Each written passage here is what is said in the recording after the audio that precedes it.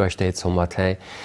Ma három témával várom önöket, és remélem, hogy itt maradnak velem. Már csak azért is, mert az első téma az mindjárt egy mosolygós lesz, nem csak azért, mert hogyha én most jobbra nézek, mármint én nekem jobbra, önöknek balra, akkor egy nagyon mosolygós igazgatót látok itt a stúdióban, és engem már eleve ez feldob. Köszönöm szépen a kollégáknak, hogy megmutatták. A titok pedig nem más, mint 120 éves a Kámoni Arborétum, és egy fantasztikus kiállítás van, amelyről majd beszélgetünk. Hogyha nekem megengedi igazgató asszony, akkor én elmondom a kedves nézőknek, hogy mi mindennel foglalkozunk még. Képileg is kimegyünk majd az Arborétummal megnézni a kiállítást, aztán egy nőkonferenciáról beszélgetünk, roppant érdekes a téma, és azt is megnézzük, hogy nyílt nap volt, első alkalommal a kormányhivatalokban, a megye is csatlakozott ehhez a rendezvényhez, és osztályfőnöki, rendhagyó osztályfőnöki órák voltak, hat középiskola is ott volt, mi pedig beszámolunk erről az eseményről is. Tehát mi már itt vagyunk, mosolygunk, és várjuk vissza önöket, azonnal indulunk.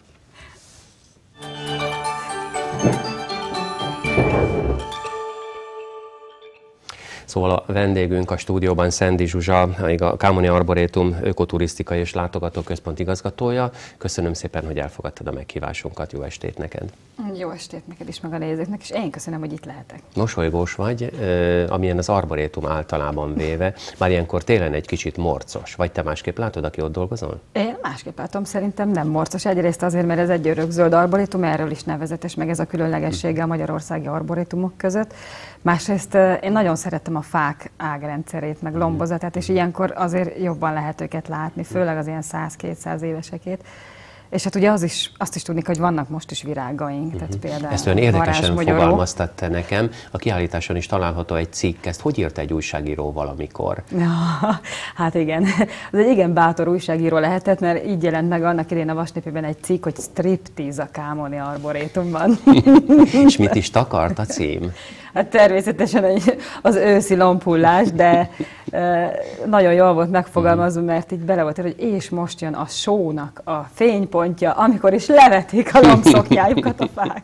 Józsa, az egész kiállítás ilyen hangvételű, vagy azért vannak komolyabb jellegű részek Vannak komolyabb jellegű részek is, de még a komolyabbaknak is megvan a nagyon emberi hangulata. Uh-huh. Egyébként az egész kiállításban most is megpróbáltunk tényleg ilyen jó érzéseket keltő hangulatokat teremteni, ami azt jelenti, hogy a régi fényképek mellett, ami embereknek a saját emlékeit, tehát tényleg nagyon kedves emlékek, kicsi gyerekek ülnek a hatalmas uh-huh. lapúlevelek alatt, és hasonlók. Próbáltuk másképpen is megmozgatni az uh-huh. érzéseket. Uh-huh. Van egy meglepetésünk, azt nem árulom el, de rekonstruáltunk valamit, ami az Arborétumban kb. 30 évig megtalálható volt, és szinte minden családi képen uh-huh. szerepel, ez uh-huh. hagy legyen meglepetés. Jó.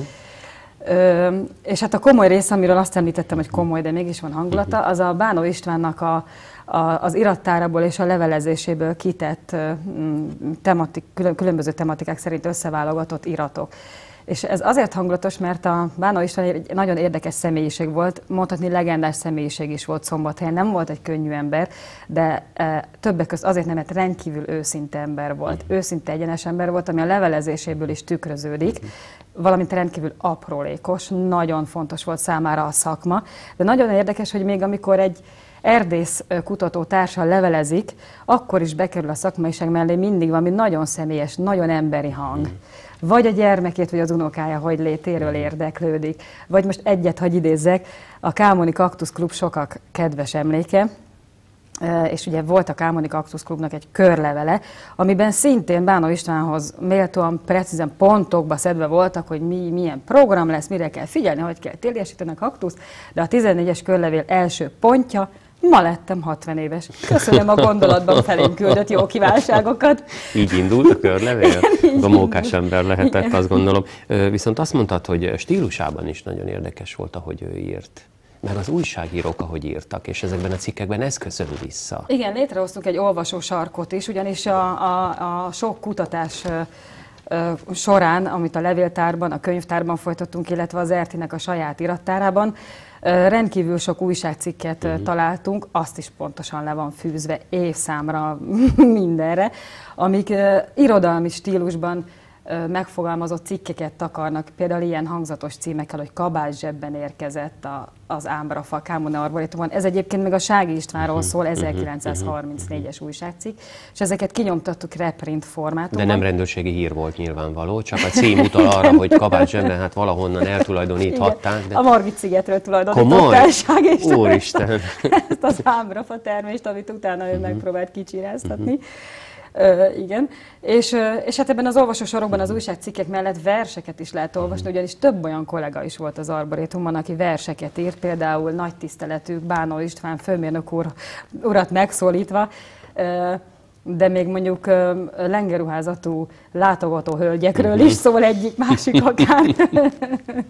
aki a nagyon környezet, a környezet ihlette őket, gondolom, nem? Tehát a, az évszakok, ahogy váltakoznak egy arborétumban, a színek, az illatok, maguk az, az összeállítások, tehát a növény összeállítások, hát egész biztos, hogy ezek ihlették a kollégákat, akik ott dolgoztak arra, hogy rímbe szedjék a gondolataikat. Hát ebben Szerelmes vagyok. párok andalognak, családok andalognak, tehát tehát abszolút olyan inspiráló környezet, ami azt gondolom, hogy hatásos lehetett. Ez biztos, hogy így van, minket is sok mindenre inspirál e, ez a környezet.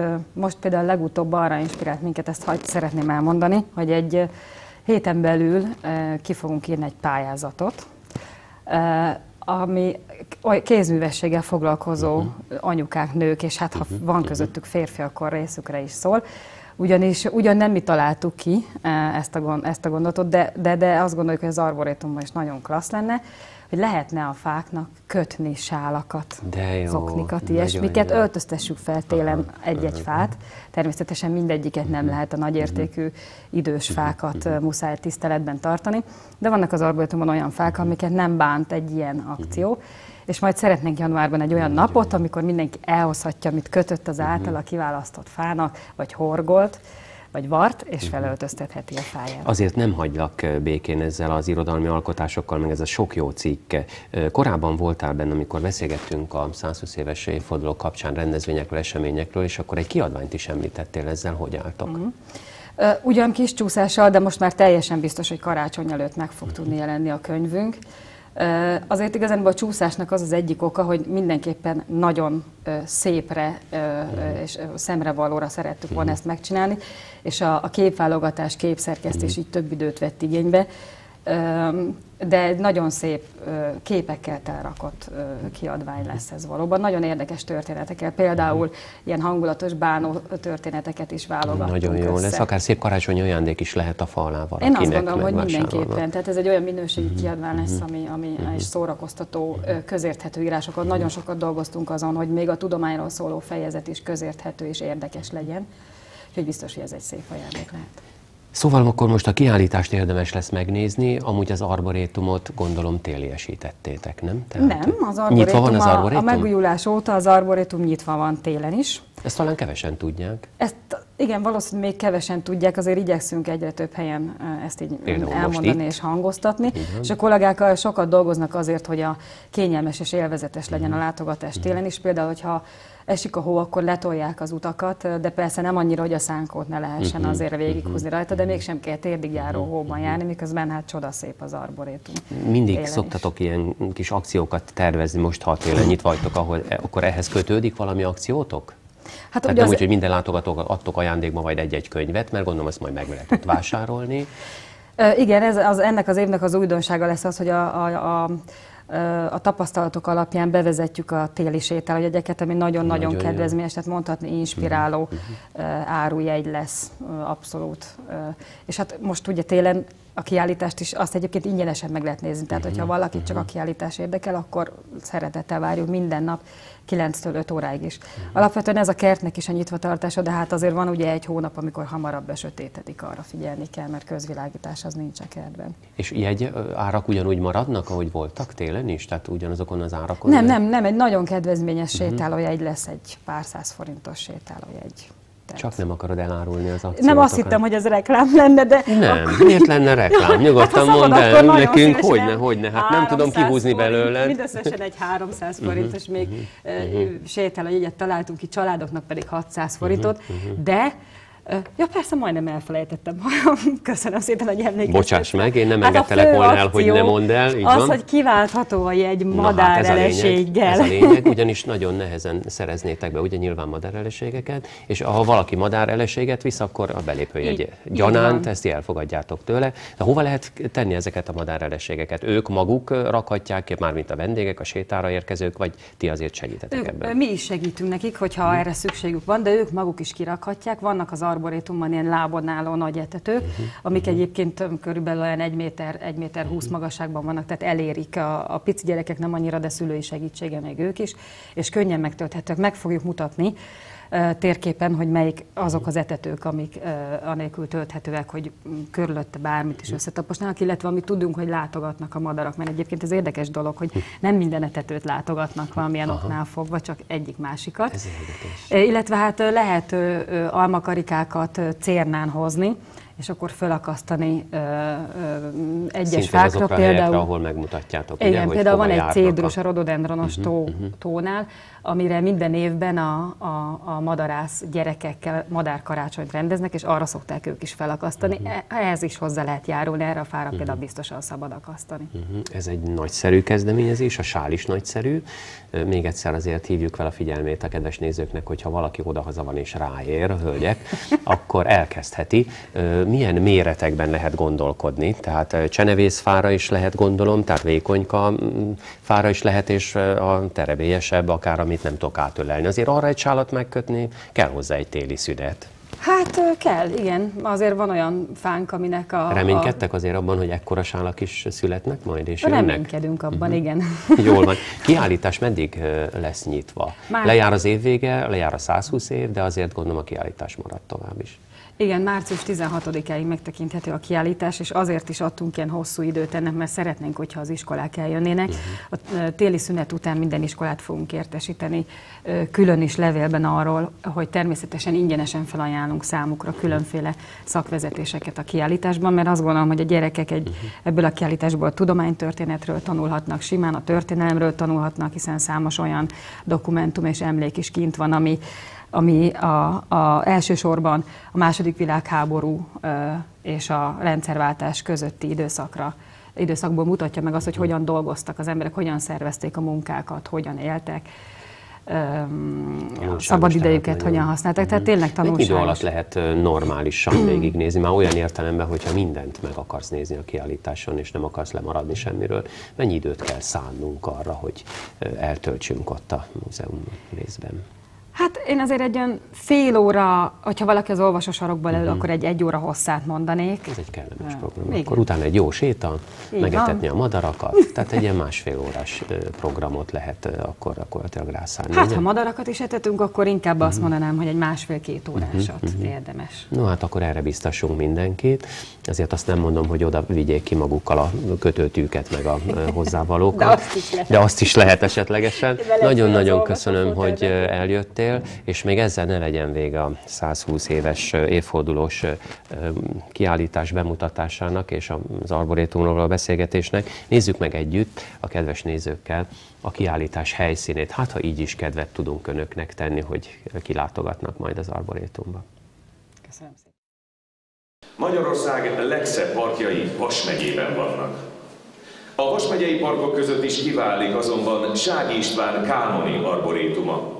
Kámon szombathelytől északra fekszik, két kilométer távolságban, teljesen sík területen, 220 méter magasan a tenger színe felett. A Kámoni Arborétum az idők során már szombathely részévé vált. A területe is nőtt, és az elmúlt 120 évben nem csak a Vasi megyeszékhelynek, de az egész országnak világhírnevet szerzett a kert az itt folyt fenyőnemesítési munka nyomán. Erről nyílt kiállítás az Arborétumban a jubileum apropóján. A közönség által soha nem látott relikviákat mutat be a tárlat. Rengeteg toboszfajta, különleges gépek és régi táblák is sorakoznak a 120 per 6 60 címmel nyílt kiállításon. A 120 az az Arboretum alapításának az éve, 120 évvel ezelőtt kezdte el Ság István létrehozni a gyűjteményes kertet, a 60 pedig az Erdészeti Tudományos Intézet kezelésében lévő évek száma, 1953 óta az Erdészeti Tudományos Intézet az Arboretumnak a fenntartója és a fejlesztője. Az ünnepélyes megnyitón Puskás Tivadar polgármester azt is hangsúlyozta, nem csak a turisták, de a szombathelyiek kedvelt helye is az arborétum. A város és az arborétum kapcsolata én úgy gondolom, hogy példaértékű. Példaértékű, mert a szombathelyiek, szombathelyiek jelentős része megfordult itt ezen gyönyörű fák alatt, a kiállítás az arborétum múltját meghatározó személyeket, a fenyőnemesítési kutatásokat és az egykori vendégeket is bemutatja. Ugye látom az embereket, mindenki keresse az ismerős arcokat, nagy, nagypapákat, szülőket a régi képeslapokon, a régi családi fotókon. A tudomány néha úgy tűnik, hogy túl komoly, túl nehézkes, itt viszont nagyon gyakorlatilag és nagyon könnyen emészthető formáját látjuk a tudománynak. Alapos kutató munka nyomán állt össze a kiállítás anyaga. A tárgyak, levelek egy részét a Szavária Múzeumtól kölcsönözték a kiállítás szervezői, rendezői a sági időszakából is gyűjtöttünk össze cikkeket, fajtajelölő táblákat, fotókat, és például a közönség számára újdonság a sági családfa is, ami a Kámari Arboretumért Egyesületnek köszönhetően teljes életnagyságban tekinthető meg. A második világháború utáni időszakból pedig már maradtak ránk különböző tudományos kutatáshoz használt gépek, eszközök, amiknek egy részét kipróbálhatják a látogatók is, megmozgathatják, megnézhetik. Az ünnepélyes kiállítás megnyitóra Bánó István erdő erdőmérnök leszármazottai is hivatalosak voltak. Nem tudok meghatottság nélkül végignézni ezeken a falakon, hiszen nekünk a, a gyerekkorunkat idézi. Én magam 32 éven keresztül éltem a algoritmusban, úgyhogy rengeteg emlék köszön vissza most a a képekről. Minden kiállított darabhoz érdekes történetek, emlékek kötődnek, akár a látogatók, akár a kert egykori vagy jelenlegi dolgozói részéről. Nekem az egyik személyes kedvencem az a híd, amit rekonstruáltak a kollégák. Mint kiderült, hogy a régi időszakban szinte minden évben a kiszáradó nyírből gyakorlatilag házilag összeácsoltak egy-egy, és minden évben változó formájú hidat, hidakat az átereszekre, a patakokra, és azt gondolom, hogy ez egy jó kis ötlet ahhoz, hogy megértsük, hogy az emberek abban a korban milyen emóciókkal milyen módon éltek és hogyan léteztek. A kiállítás 2014 március közepéig tart nyitva. Addig még bővülhet is, hiszen a falakra bárki kiakaszthatja saját személyes fotóemlékeit a gyűjteményes kertről.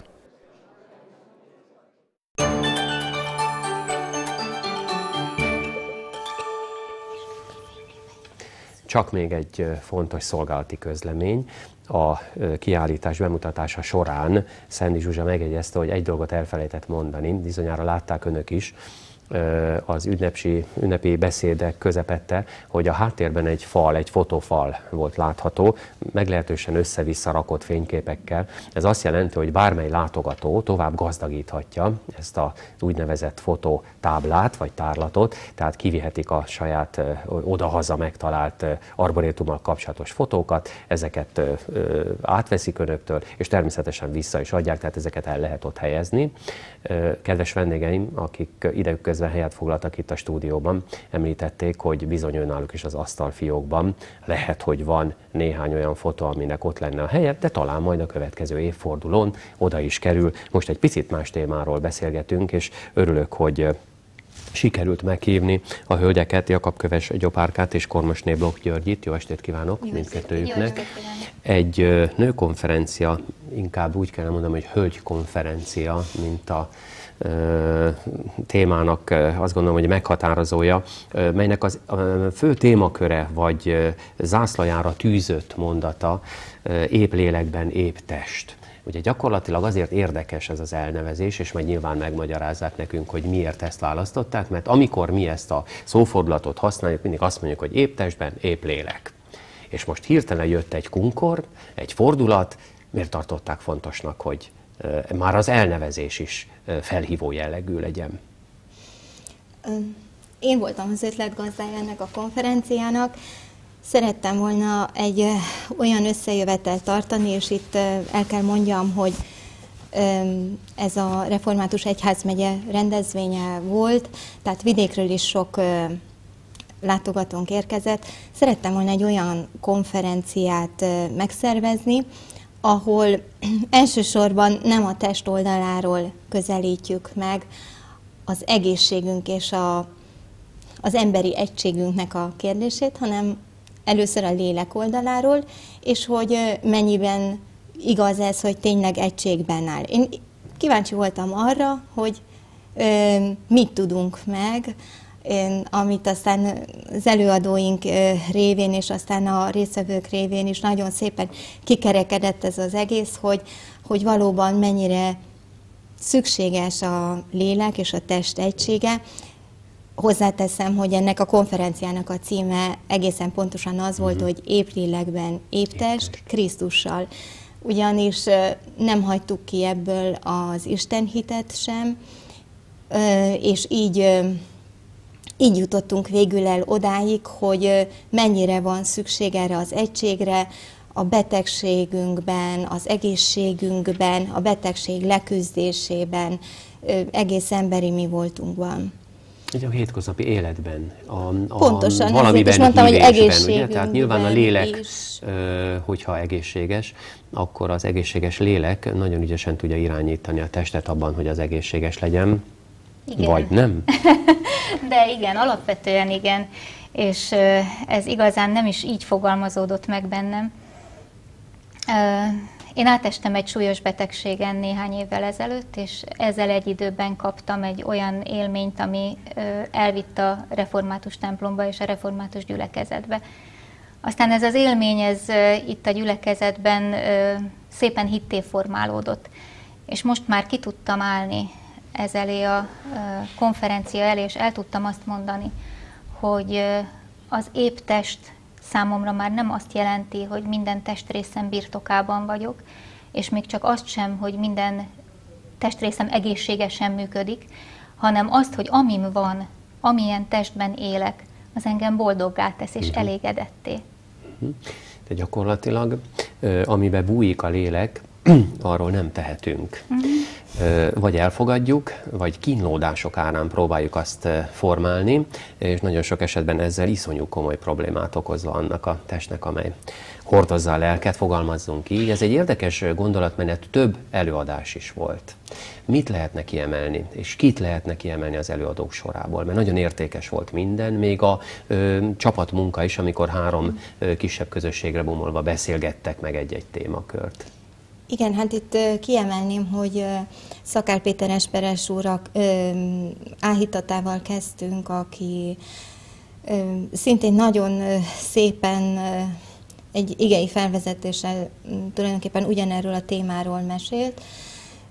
Főelőadónk dr. Tóth Katalin volt, aki most sajnos nem tudott eljönni, mert Pécsen van, de ő tartott egy elég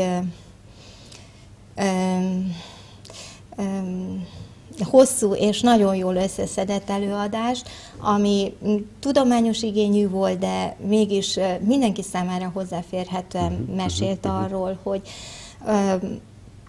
hogy kapcsolódik a lelki egészségünk a testi egészséghez, pszichoszomatikus betegségekről beszél, stresszről, depresszióról, azokról a az általunk már örökölt, megbetegített génekről, amik aztán a későbbiekben is kihatnak egész életünkre. Felelősségünkről beszélt, tehát az, a, a saját emberi felelősségünkről, ami aztán majd tovább örökölődhet. Tehát ő volt az egyik főelőadónk, másik főelőadónk pedig Kormosné Bloch Györgyi volt, mindketten tagja, tagjai egyébként gyülekezetünknek is, és Györgyike egy nagyon mélyreható, nagyon szép előadással tulajdonképpen megerősítette azt, amit előtte a pszichiáter elmondott. Ássuk bele magunkat egy picit mélyebben ebben a témakörben, mert azt gondolom, hogy sokakat érdekel. Többek között az is, hogy beigazolódik lassan-lassan, hogy a szív- és érrendszeri megbetegedések, amelyekre azt mondtuk, hogy vezető megbetegedések majd hogy azt mondja, világszerte, tehát globálisan az egyik legfontosabb, amely el, meg, amelyet meg kéne előznünk. Kiderült, hogy a stressz, amely a vezető és a stressznek köszönhetően aztán jönnek nyilvánvaló, hát most ehhez egy szakember kellene, akit elmagyarázgatja, de nyilvánvaló, hogy a stressz és aztán a depresszió, amit ugye külön kellene majd kezelnünk, hogy a stressz jelenti életünkben a legnagyobb problémát, és erre, ki is, erre fény is derült ugye ezen a összejövetelen is.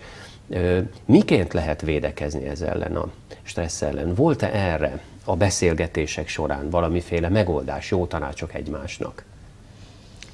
Segít ebben például a hit? Ebben is segített a hit? Feltétlenül, igen. Ahhoz, hogy az ember a stresszt jól tudja kezelni, egészséges, kerek egész személyiségnek kell, hogy legyen. Ezt nagyon részletesen és alaposan kifejtette Katalin, hogy ezeknek a ö, személyiségjegyei ö, hogy néznek ki. De ezek nem, nem adottságok valakinél, ezek mind tanulható és fejleszthető képességek, és ezt kell is fejleszteni. Tehát amikor azt mondjuk, hogy vannak stressz helyzetek, amik jótékony hatásúak, mert nem léphetünk ki az életünkből minden napi kapcsolatainkban is, a munkahelyen, a, a, az otthonunkban vannak konfliktus helyzetek, de ezek nem jelentenek olyan stresszt a szervezetre, ami káros volna. Ez egyszerűen a napi élet velejárója. Ugyanakkor vannak olyan súlyos terhelések, ami akár betegséget is elindíthat. Az rajtunk múlik, hogy ezekbe a helyzetekbe milyen mélyen megyünk bele, és milyen sokáig hagyjuk ott magunkat. Uh-huh. Érdekes dolog, amit mondott hogy ugye ezeket lehet tanulni. Uh-huh. A kérdés az, hogy vannak-e olyan közösségek, vagy lesznek-e olyan közösségek, ahol ezeket meg lehet tanulni azoknak, akik szeretnék elsajátítani ezeket a dolgokat, mert ugye van egy elrettentő adatunk 2020-ra, a második leggyakoribb rokkantsághoz vezető betegség lesz majd. A depresszió. a depresszió. Igen, a depresszió. Igen, ez is az előadáson hangzott el, de visszatérek arra a kulcs szóra, hogy közösség. Tehát én azt láttam éppen ezen a konferencián is, hogy a közösségnek hihetetlen nagy ereje van, hogy fel tud emelni helyzetekből, nehéz helyzetekből, mélységekből, emberi nyomorúságból. Az előadások után csoportbeszélgetéseket folytattunk, a féle workshopot, aminek aztán utána volt egy értékelése is. És ezeken a, én magam is beültem egy ilyen csoportbeszélgetésre, én elsősorban azon döbbentem meg, hogy mennyi bajjal, mennyi nehézséggel jöttek emberek. Mm-hmm. És a második meglepetésem az volt, hogy milyen hamar megnyíltak és elmondták uh-huh ezeket a bajaikat, nagyon szépen összetudták foglalni. Tehát ugye fontos ez is, hogy verbálisan is az ember ezt meg tudja jeleníteni, hogy mi az én problémám.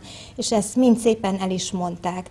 Ennek nyilván része volt az, hogy előtte a két előadás már valamit megindított bennük, uh-huh. mélyen érintve érezték magukat. Én azóta is állandóan olyan visszajelzéseket hallok, hogy olyan mm, nagyon öm, nagy hatással volt rájuk uh-huh. ez a konferencia, hogy még a mai napig is ebből élnek. Ez gyógyító hatásnak igen. nevezzük. Ezt igen, gyógyító igen, hatásnak igen, nevezzük. Igen. Tévhit vagy sem, és mindkettőjüktől kérdezem, az, hogy hívő ember nem lehet depressziós. ez tévhit. Ez tévhit. tévhitnek tévhit. tévhit. Igen, igen. Magyarázzuk meg. Az Istenben való hit egy olyan kapaszkodó az embernek, ami nem ígérvény arra, hogy nem éri baj. És ezt nagyon fontos szerintem uh-huh. mindenkinek magában tisztázni, uh-huh. hogy azzal, hogy hisz és a hitéletét gyakorolja is, azzal nem köt biztosítást arra, hogy nem történik vele baleset, hogy, hogy nem kerül mondjuk depresszióba, mert kerülhet. De éppen visszacsatolva akkor megint Gyopárkára, a közösség ereje milyen fontos, mert hogyha egy, egy ilyen közösségben történik egy e, ilyen jellegű betegség, akár depresszió, figyelünk egymásra, és az, a, az az élménye az embernek, hogy nem vagyok egyedül, az már egy kapaszkodó tud lenni. Tehát egy, egy olyan stabil pont, amire építve aztán ki tud gyógyulni akár a depresszióból, vagy más betegségekből is, nyilván segítséggel, ahol arra van szükség. Ezt megbeszéltük, hogy ugye mi úgy érezzük, hogy sosem vagyunk egyedül, vannak olyanok, akik azt hiszik, hogy intimitásba vonulhatnak bizonyos esetekben, sosem lehet ezt. Egy opárka miként vélekedik erről? Erről a hívő ember lehet vagy nem lehet depressziós? Mm, Elmondta már, hogy tévhit. igen, igen. Sőt, hát azért is mosolyogtunk össze, mert dr. Tóth Katalin elsorolta azokat az általános tévhiteket, amik a depresszióval szemben élnek, és amik lényegében meg is bélyegezik a depressziós betegeket, hiszen sokan elmondják, hogy például ez a gazdagok betegsége. Amit szintén az előadáson hallottuk, hogy nagyobb arányban a szegények között tapasztalható, csak ők nem jutnak el orvoshoz. Aztán erről is volt szó, hogy a, a hívő ember lehet-e depressziós, természetesen lehet. És ennek nagyon sok oka lehet. Ráadásul ugye a, a, az Istenhit az nem egy állandó hegymenet. Tehát nem úgy van, hogy én most akkor hiszek, és akkor a következő pillanatban én megyek föl trallala a, a, a hegyen, hanem hát bizony ennek vannak völgymenete is, és vannak nehéz periódusa is, ez egy állandó kapcsolat is kell legyen Isten és az ember között, amiben néha az ember egy kicsit eltávolodik, vagy nem találja azokat a lehetőségeket, amin keresztül megfelelően tudna kapcsolatot teremteni. De mm, ez minden esetre nem semmilyen mértékben nem befolyásolja azt, hogy, hogy igenis lehet az embernek egy olyan betegsége, vagy egy olyan, olyan nehéz periódusa, amikor más emberek segítségére is szorul. Jopárka, ez, ezt a nagyon klasszok fejtést a blogban is elolvashatjuk? Írt, hát, róla, írt róla, vagy egyáltalán erről a rendezvényről én írt tulajdonképpen, ami, ami engem Mert azt gondolom, hogy folytatása kellene, hogy legyen ennek. Igen, ezt sokan mondták, és valószínű, hogy érdemes lenne, hogy folytatása legyen. Ami engem különösen érdekel ebben, hogy nagyon rossz a társadalom mentális állapota.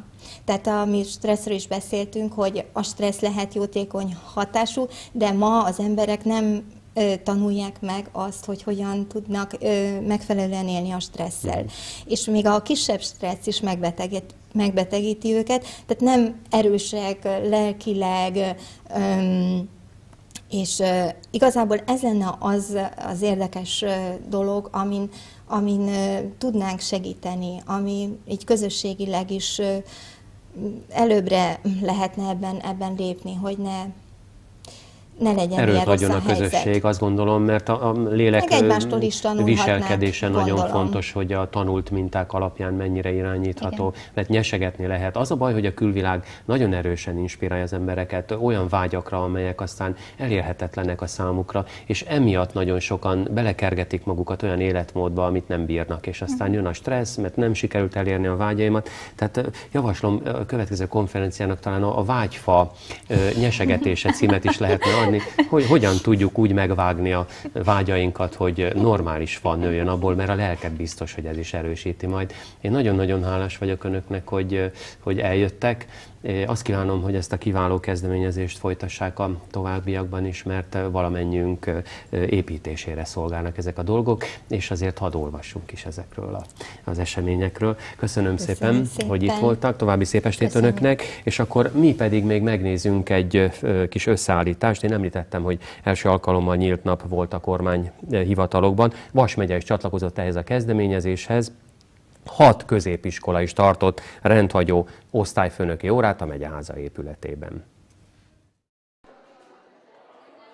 A kezdeményezés célja, hogy bárki megnézhesse, milyen munka zajlik a kormányhivatalban.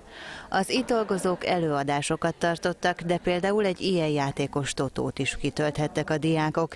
Ezt a vetélkedőt a Premontre is tanulók nyerték. Sok prezentációt láthattunk különféle témákban, és 13 plusz 1-es totót csináltunk belőle, aki a legjobb iskola volt, az ajándékot is kapott. Nagyon jól éreztem magam, és jónak tartom, hogy vannak ilyen programok, hogy betekintést nyerhetünk így az igazságszolgáltatás és a kormány munkálataiba, és ezzel a játékos feladattal szerintem egy, ez egy jó program volt. A kormányhivatalok idén először szerveztek nyílt napot, a rendezvényen a kapcsolódó szakigazgatási szerveket is megismerhették az érdeklődők.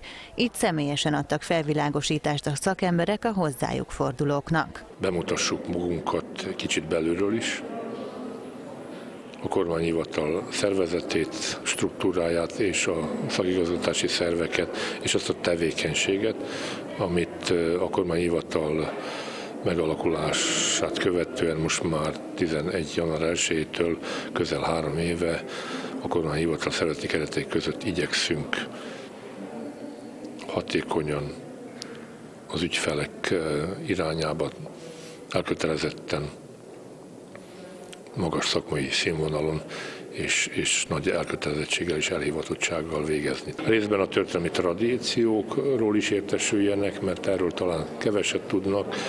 Hát a kormányhivatal az ugye nem, a,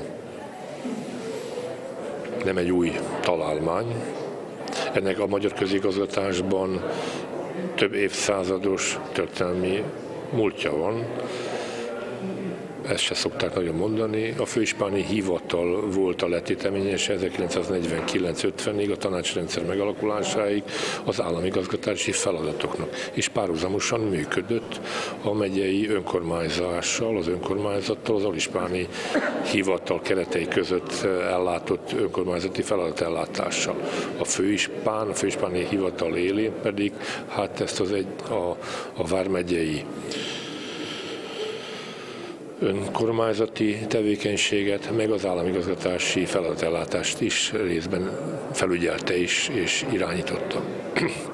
Aztán volt egy 30-40 éves másfajta struktúra, a tanácsrendszer, amikor ez a feladatellátás részben, egészben összeolvadt a megyei tanács szervezeti keretei között, a megyei tanácselnök meg hát az akkori párt irányítás is azért figyelembe kell venni, de formailag a megyei tanács elnöke vezetésével. Most 90-ben ez a struktúra megint megszűnt a rendszerváltozás nyomán, és hát kialakult a megyei önkormányzat, mint a megyei önkormányzati feladatok jogutódja, az államigazgatás pedig hát elindult egy ilyen dezintegrációs folyamaton, úton, és hát az elmúlt 20 évben a területi államigazgatás teljesen atomoraira hullva működött központi főhatóság irányítása. De most az új kormányzat, illetve az új parlament tisztől számot vett fel az ország általános helyzetével, meg a területi államigazgatás állapotával, úgy döntött, hogy ezen a területen is jelentős méreható átalakításra és reformra van szükség.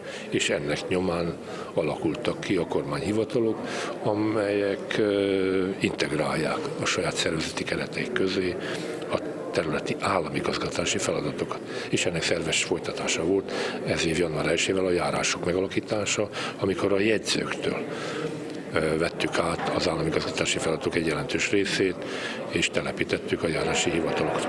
Hát ez egy olyan horderejű, több évtizede nem volt ilyen jelentős átalakítás a területi államigazgatás területén, olyan horderejű változás, amiről én azt gondolom, hogy egy ilyen kormányhivatali nyílt nap során több alkalom, mód nyílik személyes konzultációkra, vagy akár közösségi osztály, közösség tájékoztatására, amire nem mindig van mód a napi menetbe, vagy a különböző sajtó megnyilvánulásokban. A közigazgatási és igazságügyi minisztérium a kormányhivatali nyílt napot hagyományá kívánja tenni, így a tervek szerint jövőre hasonló programokkal várják majd az érdeklődőket.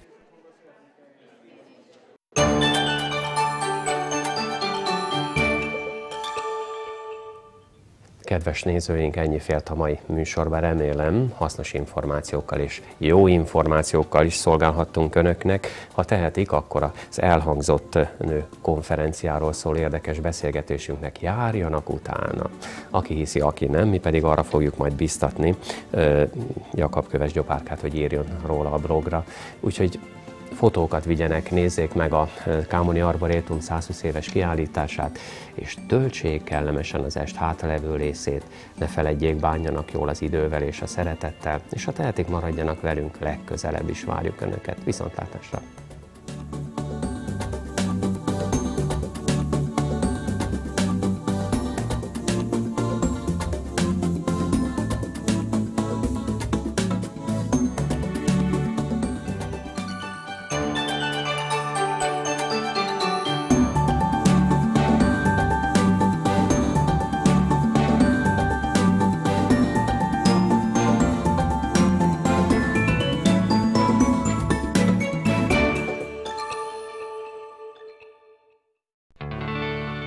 Együttműködő partnerünk a Stér ruhagyár.